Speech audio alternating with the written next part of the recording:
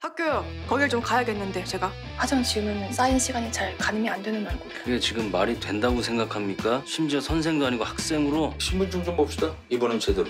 확실한 신분이 있으시다. 이 친구는 우정고등학교 3학년 일반 학생이니까요. 어떻게 된 거예요? 반갑지. 지랄 똥들을 싸고 앉았네. 당시 유력했던 용의자 리스트 총 3명이죠. 최대한 가까이 그들 틈에 섞여서 지켜볼 겁니다. 학교 거기부터 시작할 겁니다.